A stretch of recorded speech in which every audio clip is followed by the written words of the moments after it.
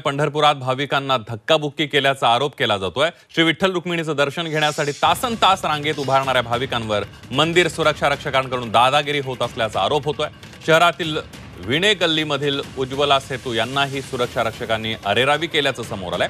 या घटनेचा व्हिडिओ समोर आलाय. सुरक्षा रक्षक महिलेसह पुरुषांना धक्काबुक्की करताना या व्हिडिओमधून पाहायला मिळत आहे आपण हे दृश्य बघतोय.